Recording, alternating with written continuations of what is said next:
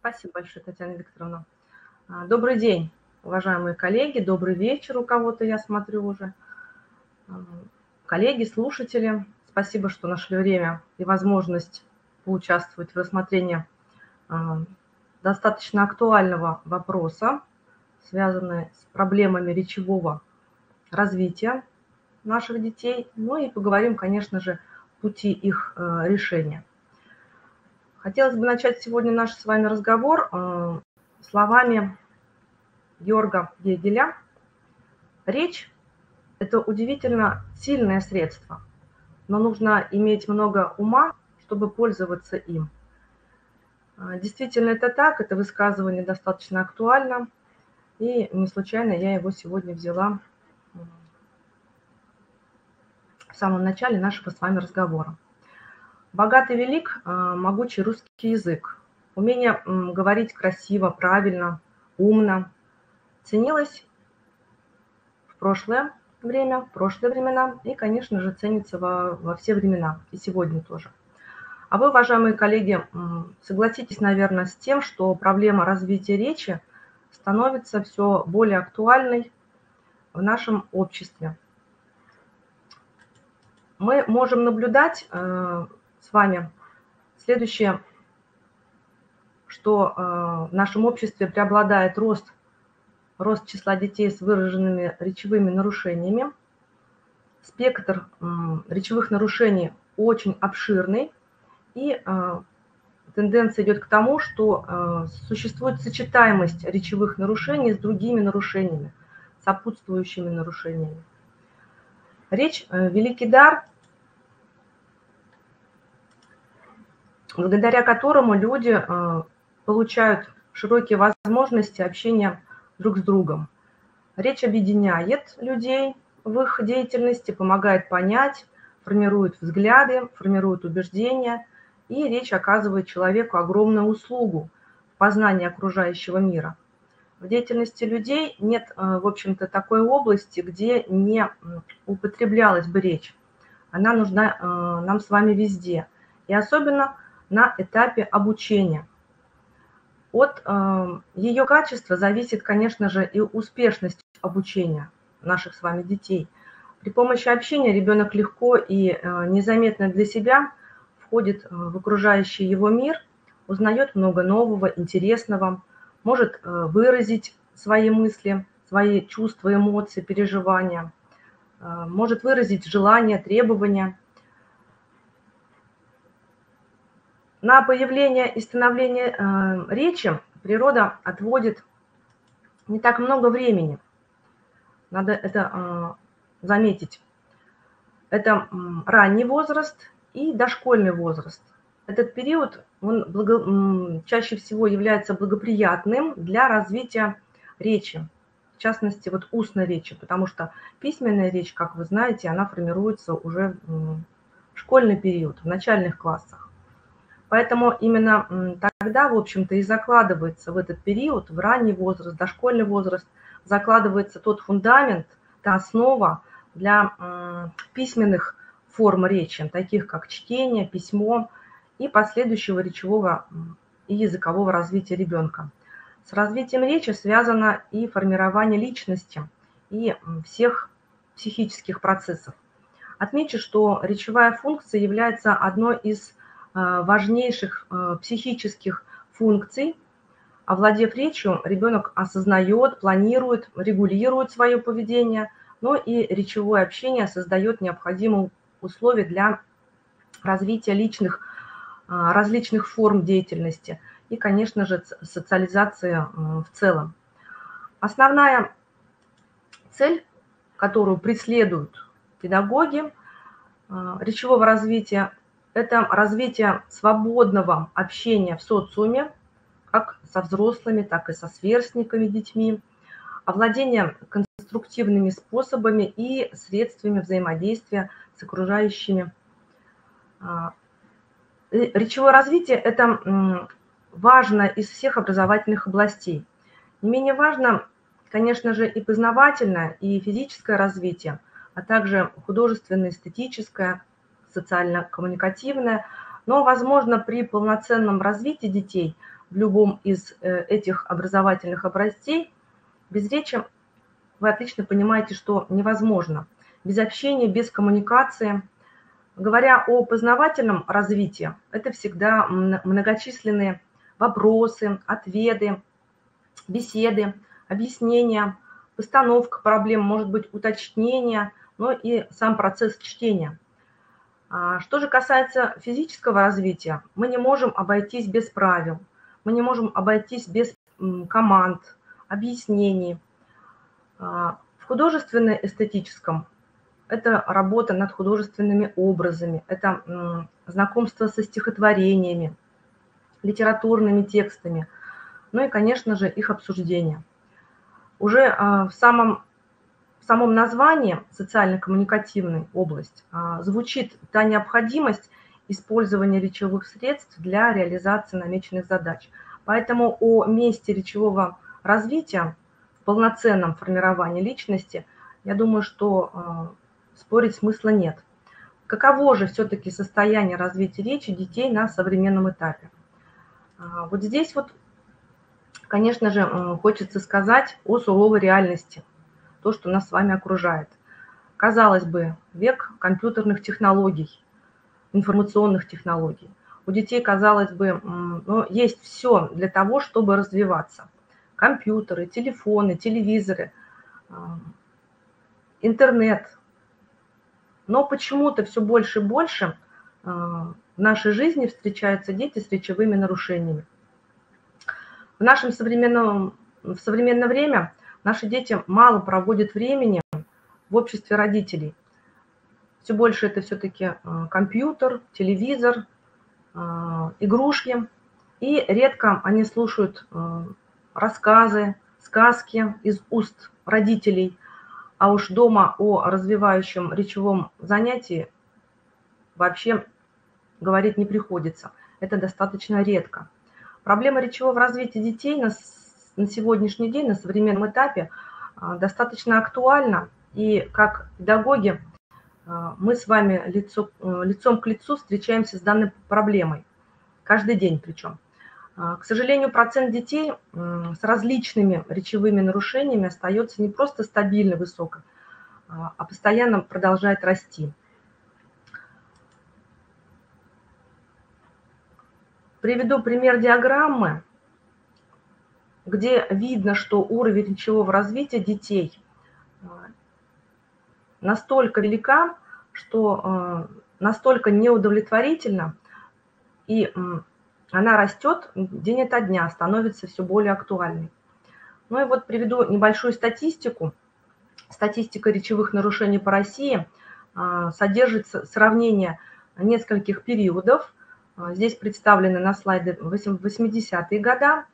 А, дальше период с 2004 по 2014 год и с 2015 по 2020 год. Это доклад о состоянии здоровья детей в Российской Федерации касаемо именно речевого, наруш... Э, речевого развития. Ну и вы видите, что если в 80-х годах нуждалось в помощи лишь 25% детей, то согласно данным Минздрава, на период с 2004 по 2014 а, год было объявлено увеличение частоты случаев а, в среднем на 44%. Ну а показатели с 2015 по 2020 вы тоже можете созерцать. На слайде они тоже увеличиваются. А, в целом, в целом говоря о уровня речевого развития у современных детей, особенно дошкольников, можно охарактеризовать как неудовлетворительный. И эта проблема действительно, она настолько актуальна, что нам, педагогам, приходится с этим сталкиваться, приходится работать в этом направлении. Какие же проблемы речевого развития существуют? Отмечу, что дети, наши дети поколения Z, они поздно начинают говорить, они начинают медленно разговаривать, медленно развивается у них речь, поздно говорят. У детей наблюдается нарушение речи, нарушение звукопроизношения. А, устная речь не всех детей, пришедших в школу, можно назвать достаточной для их дальнейшего развития, для их дальнейшего становления. как субъектов учения. У детей-дошкольников, пришедших в школу, малый словарный запас, неправильное произношение шипящих и сонорных звуков, неумение выстраивать высказывания в логической последовательности и совершенно отсутствует в большинстве случаев культура общения. Это не, не полный список тех проблем, которые, в общем-то, а, с которыми приходится сталкиваться. А далее, говоря о развитии речи, нужно назвать, конечно, и типичные проблемы развития речи дошкольников. Сталкиваемся с односложной, ситуативной речью. Речь детей а, состоит из простых предложений, это еще хорошо. Дети многие просто-напросто не говорят. А это, в общем-то, неспособность грамматически правильно строить предложения, распространять предложения. Бедность речи. Бедность речи, она у нас появляется из-за того, что а, недостаточный словарный запас. А, замусоренность а, речи наших детей словами-паразитами, сленговыми словами, употребление нелитературных слов и выражений, а это результат просмотра телевизионных передач, а, всевозможных роликов, то есть все то, что они смотрят благодаря нашему интернету. Далее следует отметить, что бедная диалоговая речь, способность грамотно и доступно формулировать вопрос, строить ответ, хотя бы краткий, не говоря о, уже о развернутом ответе, если это необходимо и уместно неспособность а, строить монолог, например, а, сюжетный или описательный, а, рассказ по, предложенному какой-то, по предложенной какой-то тематике, пересказать текст своими словами. А ведь это все необходимо для школьного образования, для школьного обучения.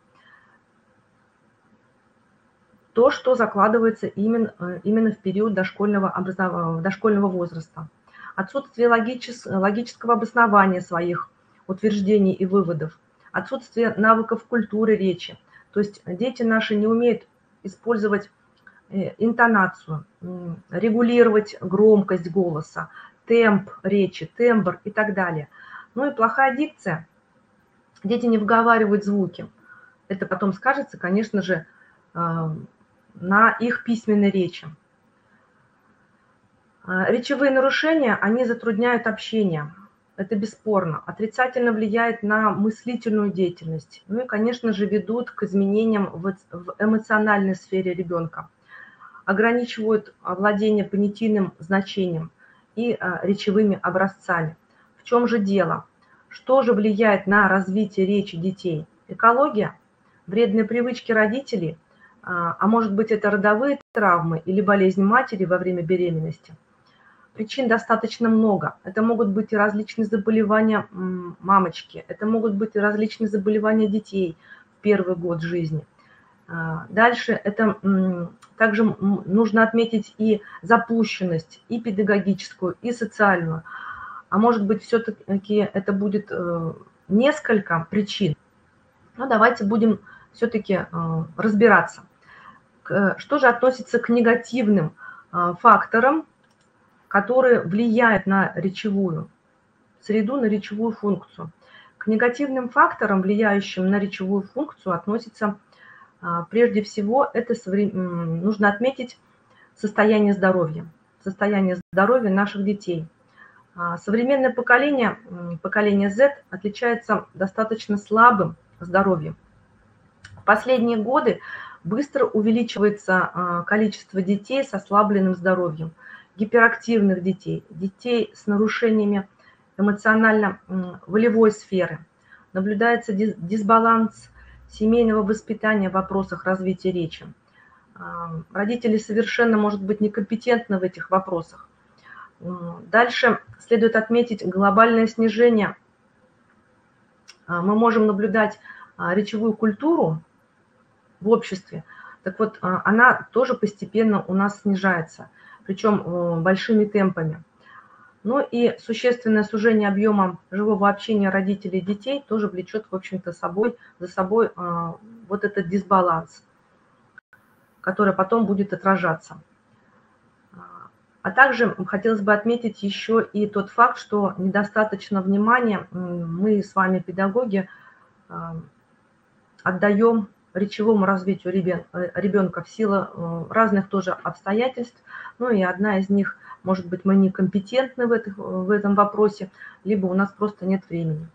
Что же относится к причинам низкого речевого уровня наших с вами детей? А, некомпетентность педагогов по проблемам становления речи. Педагог вроде бы и знает методику, но не владеет технологией. При проведении занятий он видит себя, приемы, но не видит ребенка. А, далее это речевое развитие. А, рассматривается как изолированный психологический процесс в отрыве от мышления, от эмоций, от воображения.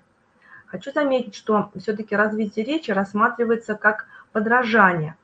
И а, мы часто забываем про формирование языковых обобщений.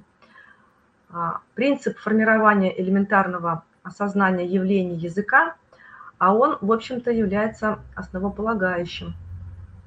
Мы помним, что в основе овладения речью лежит не только имитация, подражание взрослым, но и неосознанное обобщение явлений языка.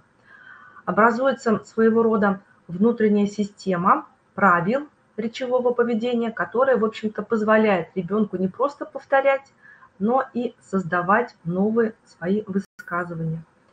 А, далее это обучение языку идет в лингвистическом формате – игнорируются коммуникативные умения. Отсюда, в общем-то, и отсутствие культуры речи и культуры общения у наших с вами детей.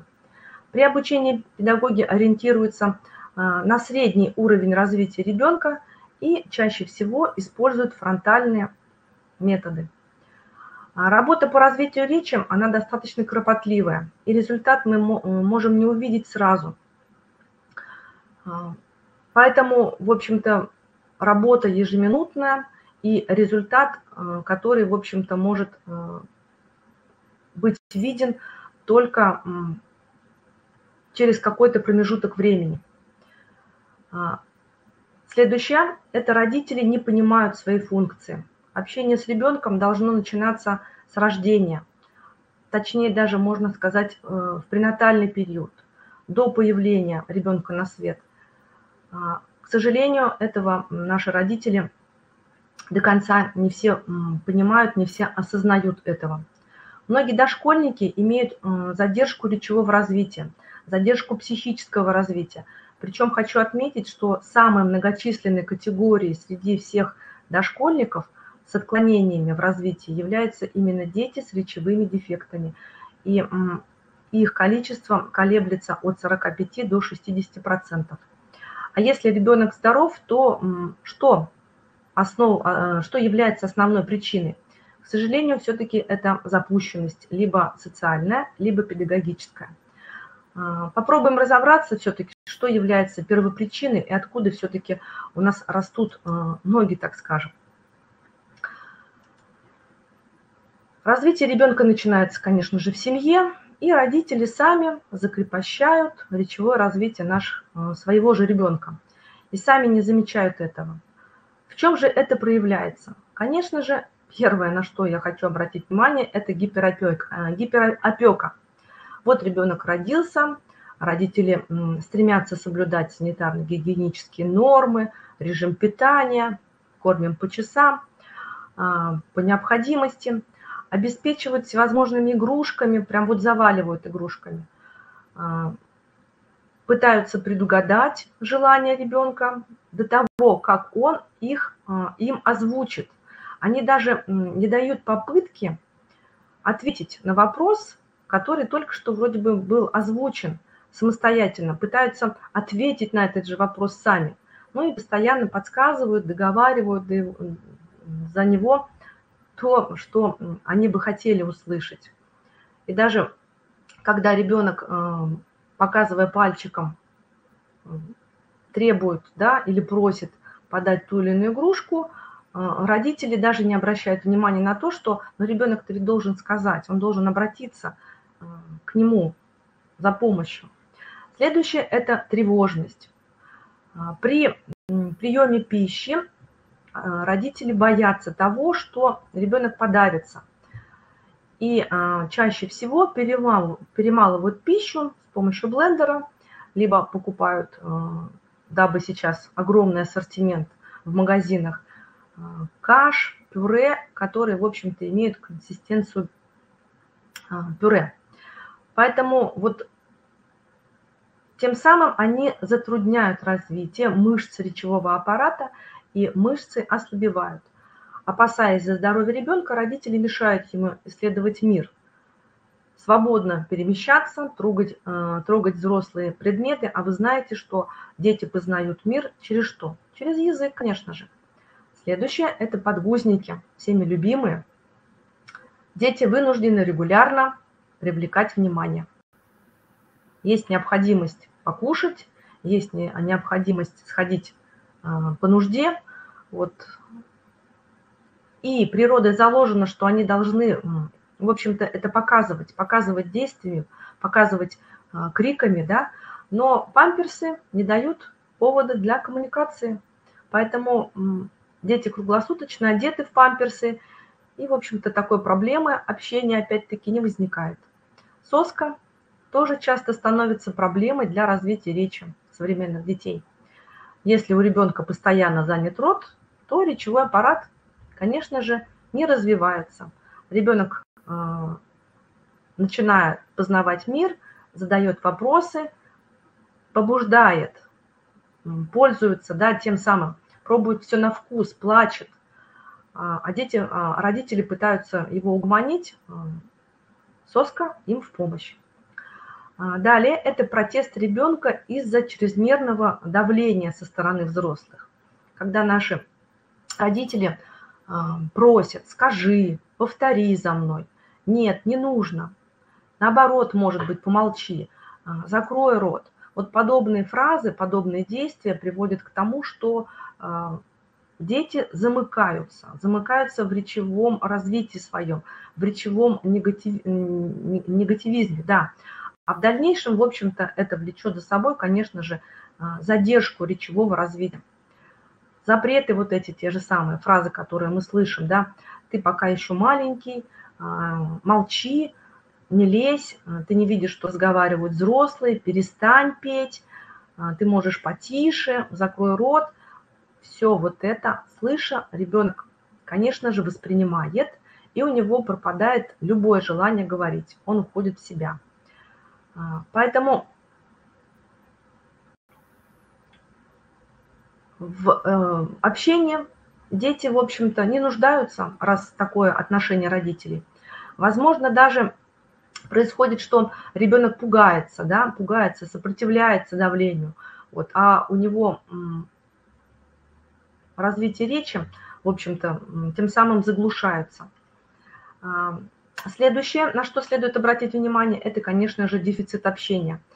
И а, сразу вспоминаю я небольшой сюжет, небольшой ролик, где учительница делится а, своим опытом, прочитывая сочинения своих подопечных, своих детей, читая сочинение одного из, ребен, э, из ребенка, э, одного из детей, где ребенок пишет, что как бы я хотел быть телефоном, что папа и мама постоянно заняты телефон, э, с телефоном, что они постоянно разговаривают по телефону. Вот. И учительница поделилась этим сочинением со своим мужем, и муж говорит, как же мне хочется обнять этого ребенка, а э, учительница говорит, так вот, он сидит в соседней комнате. Оказывается, что это э, как раз их сын, который э, хотел бы быть на месте этого телефона. Так вот, дефицит общения, он тоже а, играет огромную роль в развитии речи.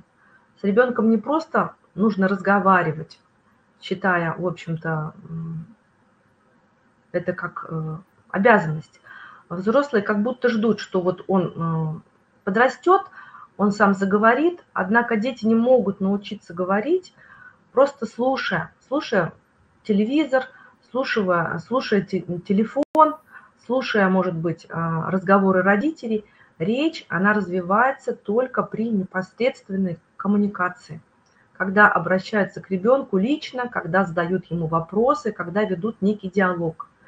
В некоторых семьях, в семьях, как только ребенок научился сидеть, его тут же сажают за экран телевизора, планшета, телефона, неважно.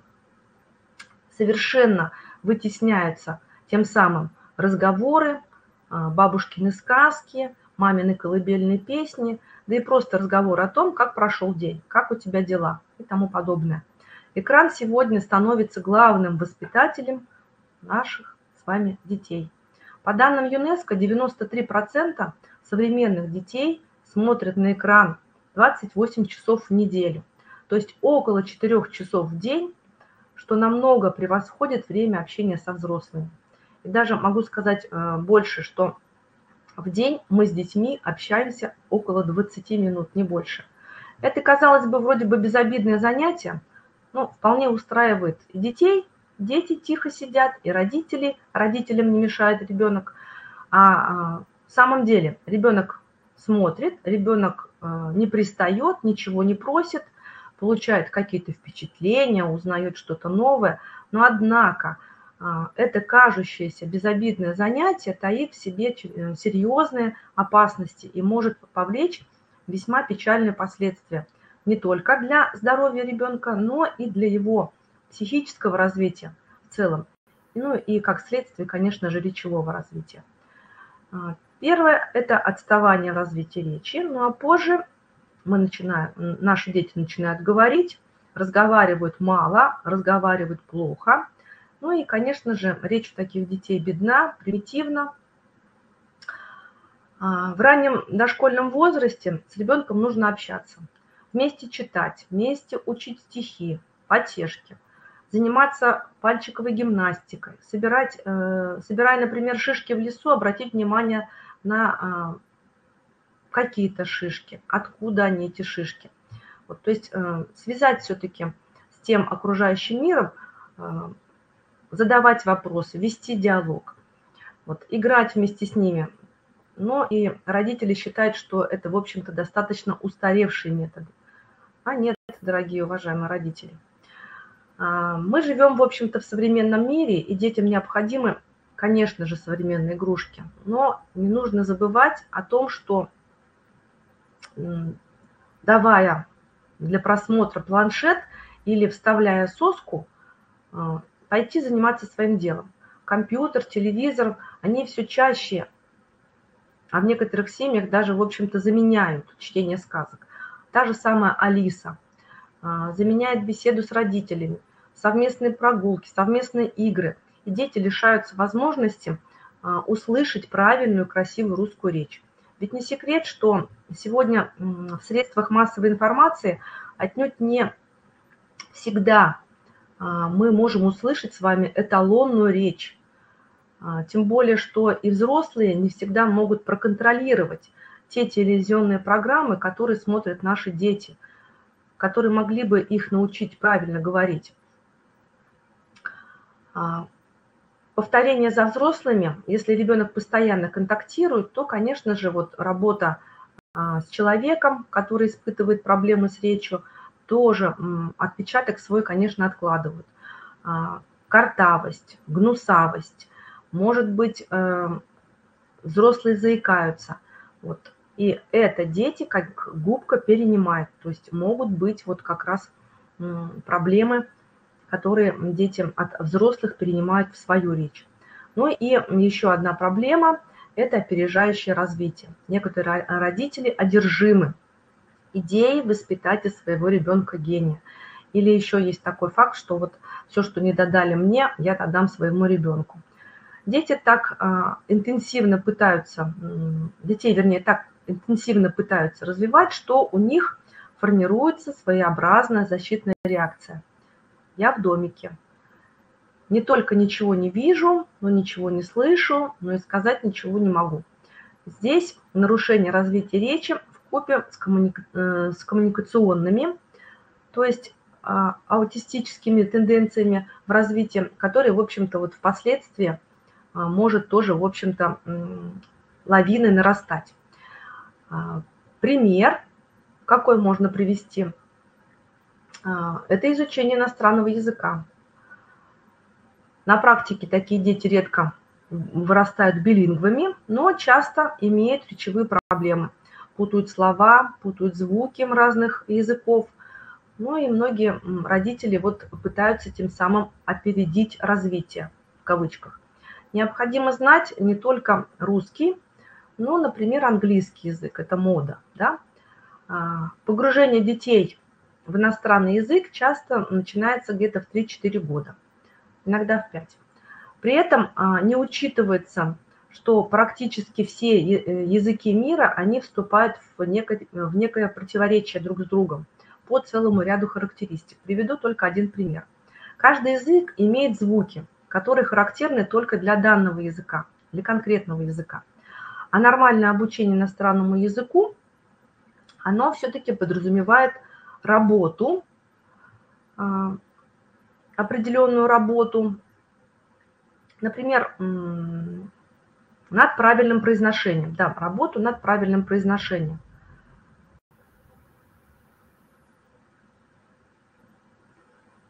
При этом не учитывается да, вот тот факт, что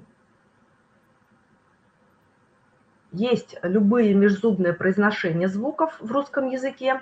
В первую очередь это касается шипящих и свистящих и считается речевым дефектом, э, межзубным сигматизмом, так называемым, требующий, в общем-то, достаточно серьезной работы по его, его исправлению. А, а в английском языке есть целая группа межзубных звуков, которых нет в русском языке. Поэтому вот это противоречие, что на одних занятиях следует упражнять детей в межзубном произношении звуков, а на других, наоборот, делать все чтобы ребенок не использовал подобное произношение. Также особенностью современной ситуации является и более а, раннее овладение чтением. При этом часто речевое развитие подменяется прямым специальным обучением чтению. А задача все-таки формирования устной речи уходит из-под контроля и невнимания взрослых. Письменная речь в этом случае ложится на неподготовленную речевую почву детей, ну и в последующем часто это приводит к различным а, расстройствам, как чтение письма, таких как дислексия и дисграфия. В общем, таких проблем достаточно много. А,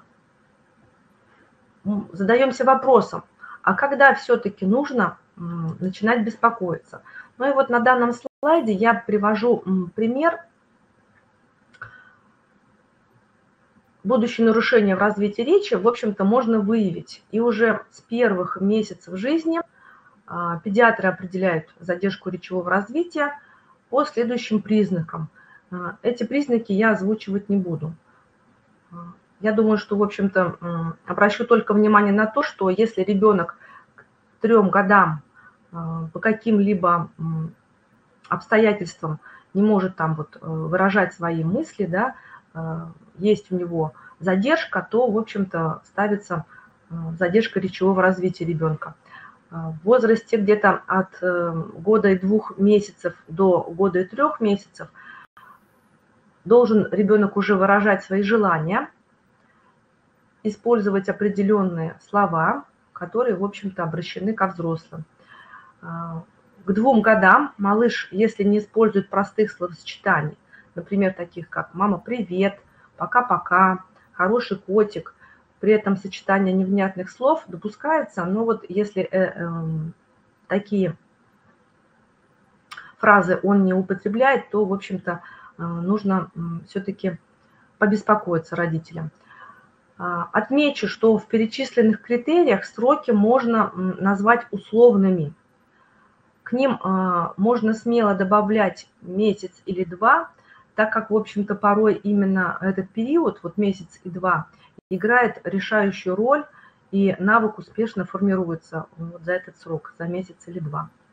Диагноз, э, еще раз повторюсь, да, задержка речевого развития ставится в возрасте трех лет. Если ребенок э, диагностирует задержку речевого развития, ему необходима комплексная поддержка. Комплексная поддержка нескольких специалистов, таких как отоларинголог, который проверит слух. Возможно, малыш плохо слышит, поэтому, в общем-то, и не учится говорить. Дальше это нервопатолог, который установит, нет ли органических повреждений в центральной нервной системе или, может быть, в коре головного мозга. А, отмечу, кстати, что по статистике где-то у 95% детей дошкольного возраста проблемами развития речи также есть проблемы по части неврологии. Далее это психолог, а, который выясняет, в каком состоянии находится психика, интеллект ребенка, ну и э, при необходимости он направляет к специалисту, ну, в данном случае это будет логопед, конечно, может быть, это будет коррекционный педагог или, может быть, психиатр. Ну и логопед, завершающий, да, специалист, который проведет диагностику ребенка, ну и подберет определенную траекторию работы для развития.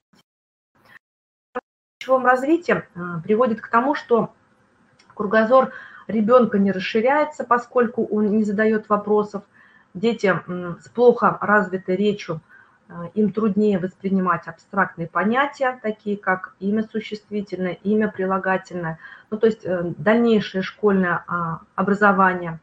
Они не умеют обобщать, не умеют сравнивать, не умеют анализировать, ну и они испытывают трудности в усидчивости, внимании, им трудно использовать словесные конструкции. Ну и кроме того, проблема с речью, они возводят стену между ребенком и окружающим миром. Он становится замкнутым, обидчивым, неуверенным в себе.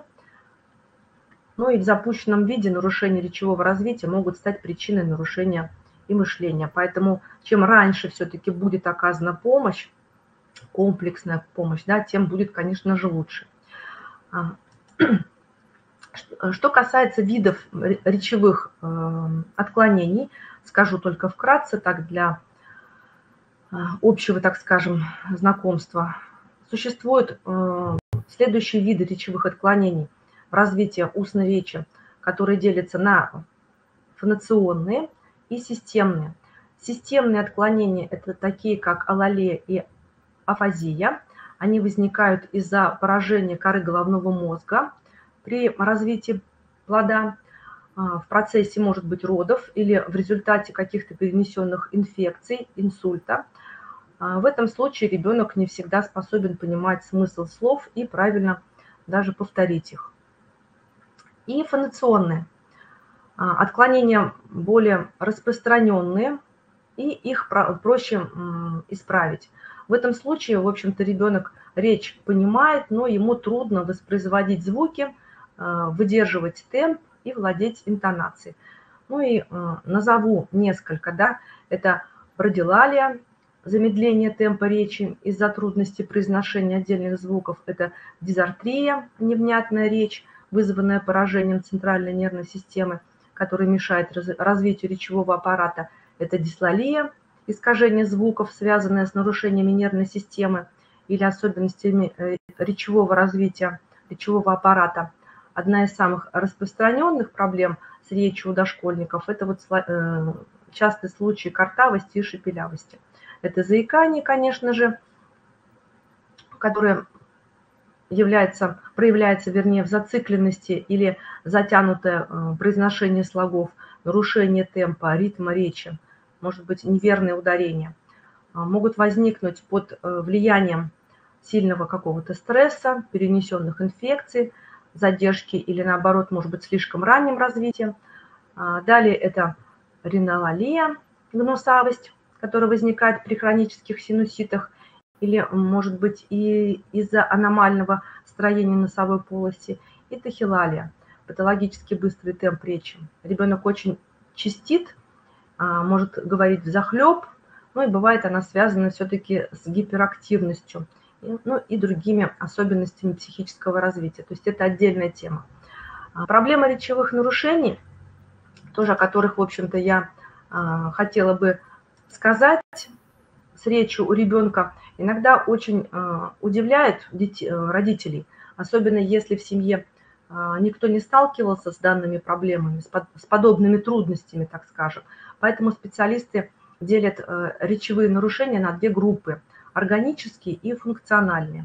К органическим причинам, органические причины изменяют механизмы в центральном и периферическом речевом аппарате, а, из-за чего, в общем-то, возникают сложности с произношением. А функциональные причины нарушают нормальную работу здорового речевого аппарата.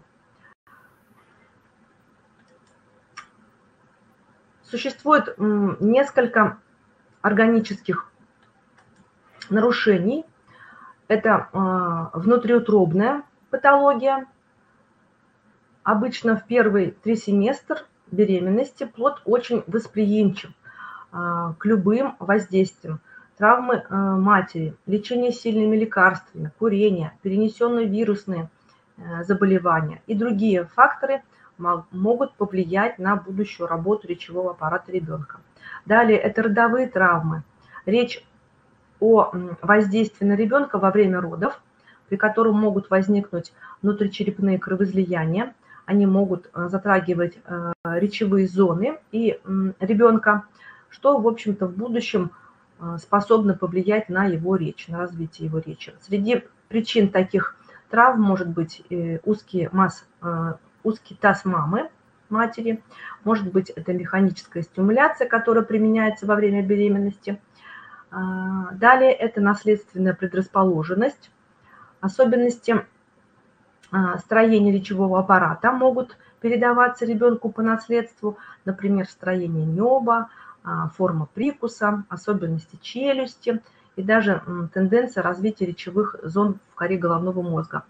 Специалисты также выявили наследственную предрасположенность к э, заиканию. Несмотря на это, каждый случай, хочу отметить, что он индивидуален, он уникален, и исследователи не всегда придают значение генетической предрасположенности. Исключать этот элемент наследственности нельзя, но речевые нарушения не всегда возникают по этой причине. И еще э, бывает, что несовместимость мамы и малыша по группе крови. Тоже вот одна из проблем. А, проблемы, связанные со здоровьем первых э, лет жизни, первый год жизни ребенка, чаще всего это, конечно же, а, тяжелые заболевания с различными осложнениями, могут привести к полной, а, возможно, к частичной потере слуха, что впоследствии, в общем-то, тоже повлияет на развитие речевого аппарата. К функциональным причинам Логопеды, дефектологи относят чаще всего это социально-бытовые условия ребенка. Ребенок может научиться говорить только в социуме. Ему необходимо слушать речь, участвовать в разговоре, выражать свои мысли.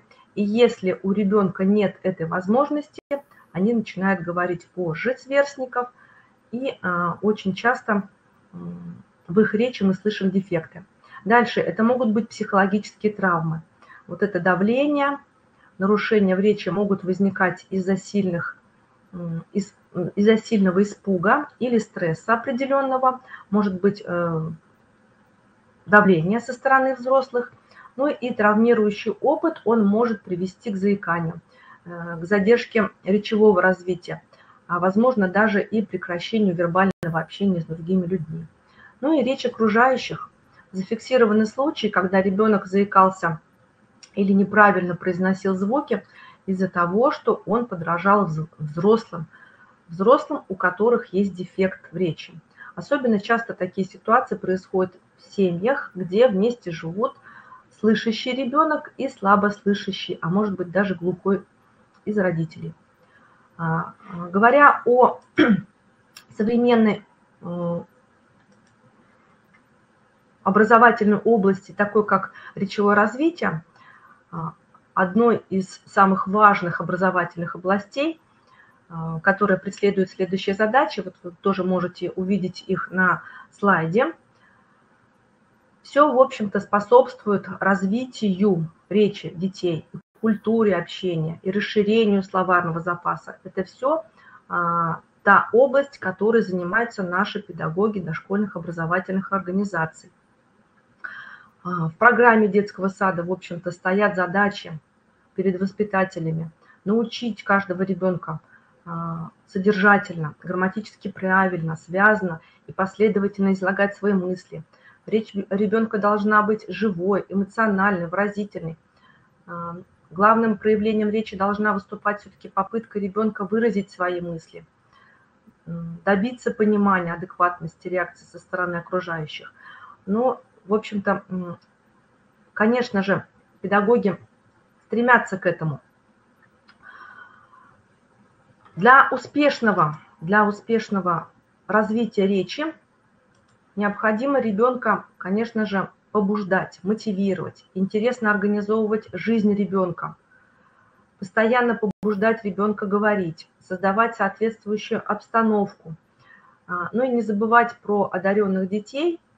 Речью мы определяем судьбу ребенка. Из всех талантов самый главный талант – это умение общаться – общаться с окружающими, а, взрослыми, сверстниками и так далее. Какие же средства речевого развития мы для этого можем использовать? Это общение взрослых и детей, которые формируют коммуникативные навыки. Это культурная языковая среда, это речь педагога, обучение на занятиях, а, художественная литература, различные виды искусства, такие как изобразительная деятельность, музыка, театр. Ну и, конечно же, это современные технологии и современные методы. Мы, педагоги, обязательно а, должны создавать максимально благоприятную для этого среду, условия, то есть речевую развивающую среду. Это не только предметное окружение, но и роль взрослого в организации воздействия на становление различной стороны речи. Ну и вот одно из а, них – это, конечно же, общение, одно из средств развития речи. Это речевое общение может осуществляться в разных видах деятельности, в игре, в труде, в быте, в учебной деятельности и выступать как одна из сторон каждого вида. Поэтому очень важно уметь использовать для развития любую деятельность рекомендуется как можно больше и чаще разговаривать. Педагоги должны побуждать, мотивировать детей, а, привлекать их в беседу, в, рассуждение, высказывать какие-то определенные свои фразы. Ну, тем самым, в общем-то, побуждать детей к речевому общению между собой, давать указания, поручения и так далее. Общаясь, самое главное, да, самое простое, что мы можем сделать, чтобы у ребенка, в общем-то, не было проблем с речью, это разговаривать с ним, общаться с ним. С первых дней его жизни при этом общение не должно сводиться к однообразным бытовым таким, э, таким функциям. Там вот пора спать, иди поешь. А, нужно обсуждать все, что происходит вокруг, подробно отвечать на любые Почему? Почему у нас есть такой период почемучек? А, иногда даже родители просто заняты, да, не хотят общаться. Вот, э, спрашивать, задавать вопросы, самим рассказывать интересные истории, шутить. От того, как мы общаемся с ребенком, во, многом зависит, как он будет строить свои отношения с людьми э, на всю оставшуюся жизнь. Исходя, в общем-то, из э, вышесказанного, максимально необходимо создавать условия для развития детей. Что касается речи взрослых. Речь взрослых, конечно же, это пример для подражания. Речь ребенка развивается во многом в результате подражания речи окружающих. Подражая взрослым, дети перенимают определенный опыт, где-то, может быть, это достойный опыт, где-то не очень, а, недостатки в нашей речи, отсюда сложились, в общем-то, определенные требования к речи взрослых. Речь должна быть доступной, ясной, красочной, четкой, фонетически и грамматически правильной и так далее. То есть э, можно очень много назвать. Выразительный, эмоционально насыщенный. А, разговаривая с ребенком, мы не должны торопиться. Слова должны произноситься четко, громко, ясно. Взрослый должен знать и соблюдать речевой этикет, использовать как вербальные, так и невербальные средства общения. Ну и слова взрослого должны соответствовать его делам, его поступкам. Далее педагоги и родителям необходимо обеспечить развитие звуковой культуры речи, следить за правильным произношением, но если в случае необходимости, конечно же, поправлять, упражнять детей в этом, организовывать всевозможные звукоподражательные игры, проводить занятия по звуковому анализу, использовать чистоговорки, скороговорки, загадки, стихотворения, наблюдать за темпом, громкостью речи детей. Об этом, кстати, я уже говорила а, в предыдущих вебинарах. Если кому интересно, можно будет пересмотреть область речевого развития. А, была лекция посвящена именно этому. А, далее хотелось бы отметить, что важнейшей формой организации обучения речи и языку в методике считается все-таки специальные занятия по развитию речи, которые ставят и целенаправленно решают определенные задачи речевого развития. А, если мы говорим о дошкольных образовательных организациях, то, конечно же, это занятия по развитию речи. Если мы говорим о школьном обучении, то это уроки развития речи. Без специальных обучающих вот этих занятий а, невозможно обеспечить на должном уровне речевое развитие детей. А, это использование всевозможных игр, веселых способов развития речевого аппарата. Например, гимнастика для языка, где, как не на уроках, на занятиях по развитию речи, можно покривляться. Не только можно, но и нужно покривляться всевозможные подручные средства, которые мы можем использовать для развития речи. Это и дыхательные упражнения. Ну и кроме того, сотни забавных э, упражнений на произношение разных звуков, которые, в общем-то, ребенок с удовольствием будет повторять за вами. А, при этом, конечно же, при подготовке учитель, э, педагог должен э, отбирать тот материал, который, в общем-то, необходим для того или иного занятия. Далее, это на что следует обратить внимание. Конечно же, как родитель, так и педагог должен обеспечить детей условиями для обогащения их словаря. Создавать ситуации для включения детей в называемых э, действия. Может быть, это игра, предметная какая-то деятельность, а, помогать ребенку овладеть а, обобщением, вот, а, может быть, рассказать о чем-то, перечислить, может быть, какие-то свойства, явления и так далее. Ну и, конечно же, работа по обогащению словарного запаса антонимами, синонимами, амонимами. Дальше это развитие мелкой моторики. Ученые доказали, что развитие мелкой моторики и развитие речи, они очень тесно связаны между собой. А, объяснение, я думаю, в общем-то, не нужно. А, отмечу только, что на фалангах пальчиков находится наша с вами речь. Мелкая моторика, она непосредственно влияет на ловкость рук, на а, почерк, который, в общем-то, формируется в дальнейшем, ну и на скорость реакции, конечно же, ребенка нервные окончания, которые находятся на фалангах пальцев, они а, связаны с речевыми участками коры головного мозга. Поэтому развитию речи помогает пальчиковая гимнастика. Тоже их достаточно много, этих пальчиковых э, игр. Можно сочетать их со стихами. Вот, э, то есть э, все, что мы можем использовать как в детских садах, как э, в школах, так, в общем-то, и родители, я думаю, тоже, в общем-то, это могут э, осуществлять. Массаж для пальчиков, перебирание круп, шнуровка. То есть достаточно много действительно средств, которые мы можем использовать. Ну и говоря о речи, конечно же, нельзя не затронуть и связанную речь, развитие связанной речи, побуждать детей к рассказыванию – к развернутому изложению определенного какого-то содержания, описание э, своей игрушки, описание того, что он видит, организовывать диалоги между детьми и взрослыми. Для того, чтобы обеспечить развитие личности воспитанников, конечно же, необходимо в каждой возрастной группе создавать определенную предметно-пространственную среду. Развивающая предметно-пространственная среда, она должна быть содержательной, насыщенной, трансформируемой, полифункциональной, вариативной, доступной, ну и, конечно же, безопасной.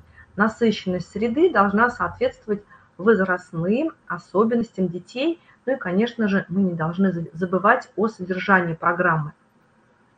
Приобщать детей к культуре чтения, к культуре чтения художественной литературы, поощрять а, детское творчество – это тоже одна из, малова... одна из важных особенностей она помогает чувствовать красоту родного языка, развивает образность речи. Дети, которым а, с младенчества читают книги, легко овладевают грамотной речью. Слушая сказки, стихи, ребенок усваивает готовые языковые формы, воспринимает словесные образы, знакомится с новыми понятиями. В результате его речь становится чище, богаче и выразительнее.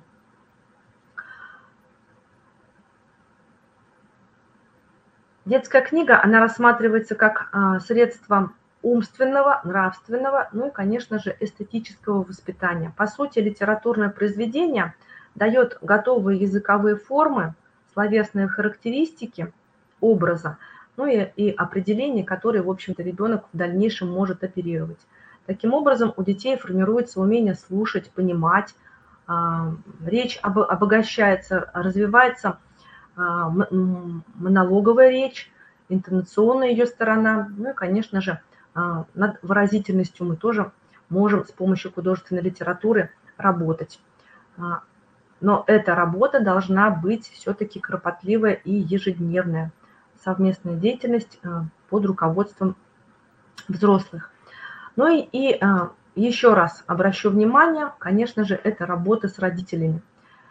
А, работа по развитию речи и речевого общения детей, как дошкольного, так и школьного возраста, должна проводиться не только в условиях а, образовательных организаций, детских садов, школ, но и в семье. Родители ну, просто обязаны заниматься с детьми в соответствии с задачами речевого развития детей, ну и, конечно же, учитывая возраст ребенка.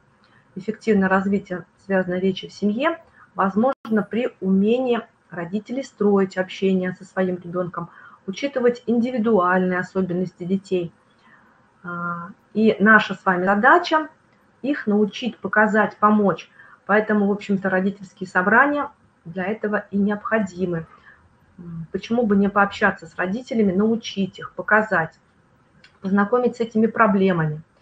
Только в тесное взаимодействие детского сада и семьи можно решить проблему речевого развития наших с вами детей. То есть а, вот этих а, три составляющие компонента – семья, педагог и ребенок. Помните, что взаимодействие педагога и семьи может решить данную проблему. Родители, в общем-то, они должны помнить, что чем богаче и правильнее речь ребенка, тем будет ему легче в будущей жизни а, процессе обучения школы ему будет проще а, учитывать, что, а, учитывать то, что плохая речь может сильно отразиться и на грамотности, а в дальнейшем из устной речи может перерасти в письменную речь. Э, в письменной речи мы можем увидеть вот эти недостатки устной речи. Ну и хотела бы привести буквально несколько подытожить наш с вами разговор, в первую очередь это эмоциональное общение с ребенком с момента его рождения. Э, даже раньше, когда ребенок лежит в животике у мамы, в этот период следует уже разговаривать, следует уже читать произведения, слушать музыкальные произведения. Дальше, следующее, э, уметь разговаривать с детьми. Разговор, постоянное общение, внимание на свою собственную речь, на речь детей – спокойная, четкая, внятная речь должна присутствовать. Не забывать, что ребенок в первую очередь учится говорить у нас с вами, у тех людей, которые его окружают. Поэтому следить за своей речью и э, за ее правильностью. Если вы заметили, что ребенок э, произносит неправильно, может быть, у него возникают проблемы с речью. Не бойтесь обратиться к специалистам. А в большинстве случаев на практике я вижу, что иногда даже родители в ужасе, когда, в общем, вот особенно медико-психолого-педагогическая комиссия, когда вот в этот период организуется, а, некоторым родителям даже как будто бы открывают глаза, да вы что, да у меня, да у моего ребенка не может быть таких даже проблем. А, поэтому вот информация, родительские собрания, консультации для родителей, они будут все-таки а, носить информационный характер, и я думаю, что родители будут перенимать да, вот тот опыт, который будет предложен нами, э, предложен педагогом.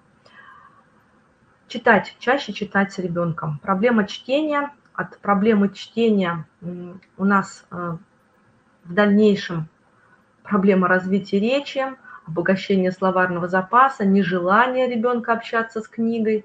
Чтение на ночь играет важную роль в развитии речи ребенка. Он усваивает новые слова, обороты. В конце концов, он чувствует плечо мамы, да, плечо родителя. Вот, э, достаточно сказать, что э, пять минут перед сном почитать произведение, да, сказку, может быть, пообсуждать какое-то стихотворение, э, дает положительный результат. Следующее – это заучивание с детьми стихотворений, тренировка не только выразительности речи, но и памяти. Тренируем детей произношение – чистоговорки, скороговорки, улучшает произношение. А в дальнейшем в школах это работа над пословицами, над подговорками, артикуляционные вот эти вот разминки, которые тоже помогают разогреть артикуляционный аппарат. Учить детей отгадывать и загадывать загадки. Это тоже достаточно интересно, забавно и необходимо, потому что а, на примере отгадки, да, вот вы, если взрослый загадываете загадку, то ребенок отгадывает. А теперь давай мы попробуем с тобой сочинить загадку, на, называть те характерные особенности того или, того или иного предмета, который будет являться отгадкой. Описание. А в дальнейшем это работа по а, частям речи, прилагательным. Обязательно при этом надо спросить у ребенка, вот, догадался он, а как э, ты думаешь, а почему? То есть э, его вынуждать строить свою речь. А дальше развитие мелкомоторики, еще раз повторюсь, так как мы с вами подытоживаем наш с вами разговор. Вот. Перебирание бусинок. Почему Золушка занималась перебиранием чечевицы, да, вот, э, круп. Игра в песочнице, нанизывание бусинок, нанизывание пуговиц – все это э, как раз будет способствовать развитию речи детей. Еще раз скажу, что речь наших детей находится на э, фалангах пальчиков.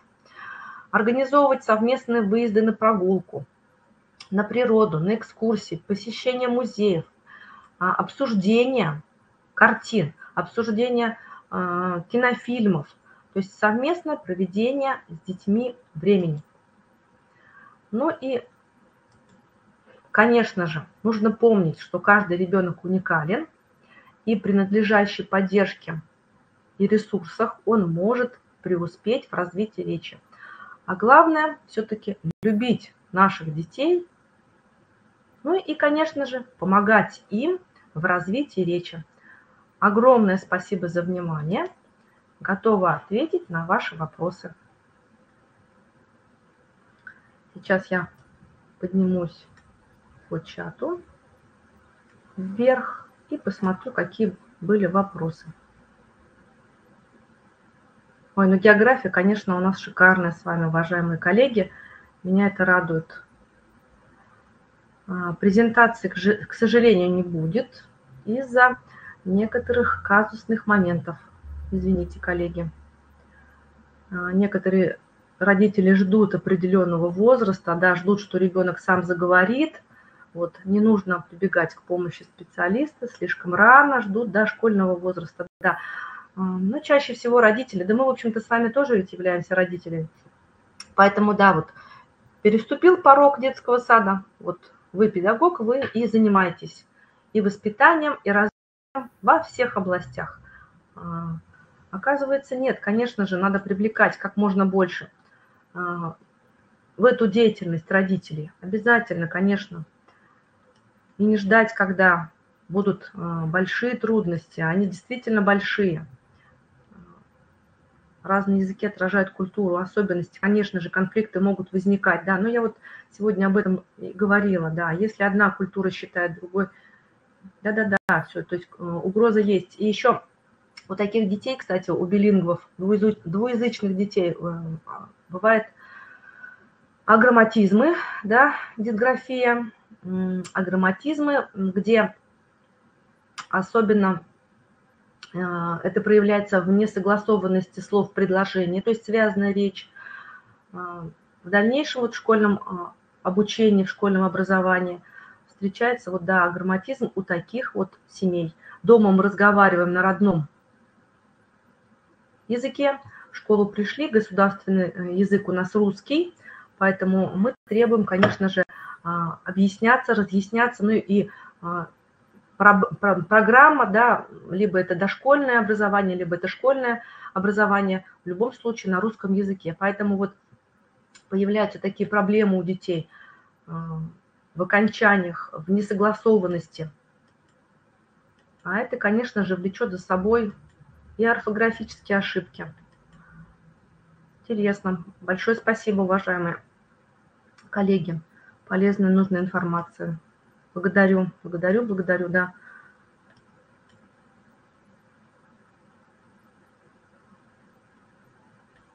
Так, скажите, пожалуйста, как прослеживается связь между речью и эмоциональным развитием? Как речевое развитие влияет на эмоциональное развитие ребенка и наоборот?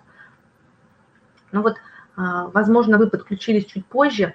Я приводила примеры, да, когда, в общем-то, вот это давление со стороны взрослых, вот, эм, либо они ждут, когда ребенок начнет сам говорить, это раз.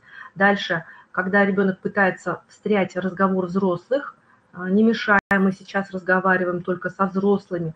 То есть это, с одной стороны, конечно же, и культура общения. Вот эм, когда разговаривают взрослые, нельзя вмешиваться, да, но вот не зная этого, бывают такие случаи, что а, родители а, просто-напросто обрывают его, да, поэтому э, и эмоциональность ребенка гаснет, он уходит в себя, он становится замкнутым. Еще одна проблема, кстати, вот э, тоже связана с развитием речи, такие дети часто болеют, и работа с логопедом, она же систематичная, систематическая, вы же э, обычно э, должны это представлять, понимать. Вот логопеды вроде бы поставят звук, но нужна ведь отработка. А кто, кроме родителей, конечно же, в повседневной жизни отработать звук, поставленный логопедом, может родитель, а, может воспитатель, конечно же, воспитатель это старается делать. Вот. А со стороны родителей нет обратной связи. Поэтому вот э, ребенок, может быть, заболел, его неделю не было, может быть, его две недели не было, и опять поставленный звук логопедом, он э, теряется, и педагогам снова приходится возвращаться. Вот, то есть эмоционально настрой, эмоциональная поддержка, как раз она вот э, отражается именно на развитии, на речевом развитии.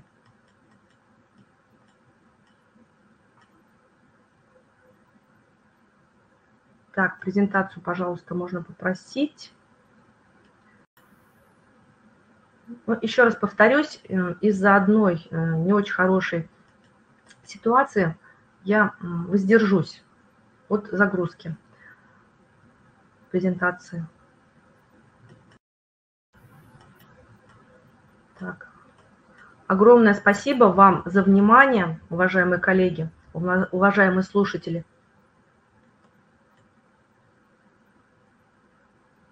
Зоя Семеновна, благодарю. Да, вот а, и Галина Зырянская тоже говорит, что да, это беда, двуязычие, билингвизм вот этот вот, да, это огромная беда. Кстати, возможно, если будет такая возможность, а, эту тему я подниму. Огромное спасибо. Дети с аутизмом могут разговаривать нормально, пусть с небольшой задержкой речи. Так, не всегда. А, Виктория, не всегда это бывает, но я говорю, это всегда индивидуально. И здесь еще есть ведь особенности различий. Мальчишки чуть позже начинают говорить. Вот достаточно всего лишь месяца, полтора на то, чтобы речь запустить, а, от, э, может быть, слов перейти к фразам, а может быть наоборот. Ну вот, а, наблюдая за практикой, наблюдая, да, вот за тем, что я вижу, бывает, конечно, вот случаи, когда прорывает речь, бывает такое. Все это очень индивидуально.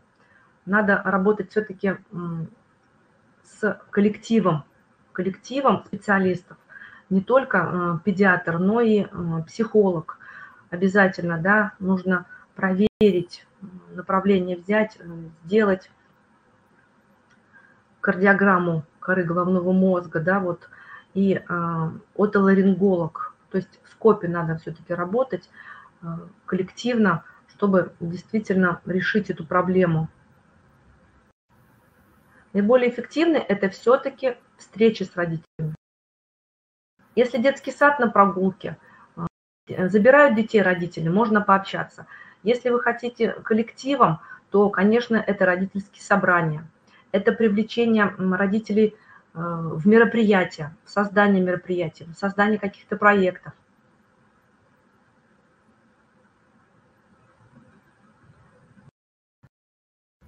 Поэтому все-таки любые средства хороши.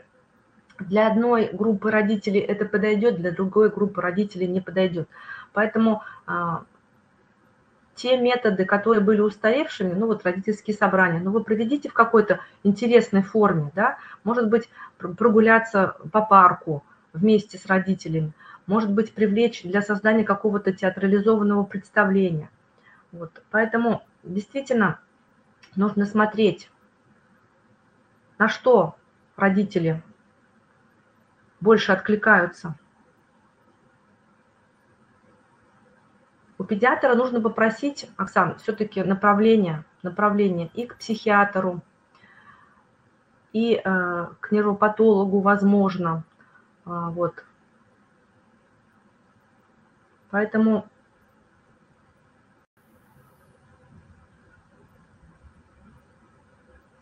здесь, в общем-то, однозначно какие проблемы, в общем-то, да. Так, малыш не говорит. Ну да, вот мальчик три года – это, конечно, не очень хорошо. Так.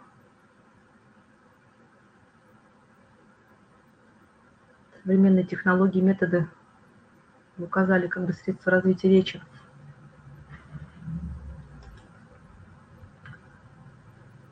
Например, зная, что будет такой вопрос, а, вот а, можно применять, конечно же, можно применять различные практические, словесные, наглядные методы, уважаемые слушатели – вот. Технологии современные. Ну вот я лекцию одну читала, поэтому посмотрите в а, предыдущую лекцию, связанную именно с речевой областью. Там я достаточно хорошо раскрыла этот вопрос. Вот, поэтому думаю, что ответ на данный вопрос вы найдете. Все, огромное спасибо, уважаемые слушатели, уважаемые коллеги. Успехов вам в развитии речи наших с вами детей, потому что это будущее поколение, на которое мы будем с вами опираться. Удачи! Ну и, конечно же, любить наших детей. Спасибо большое за внимание. Всего доброго.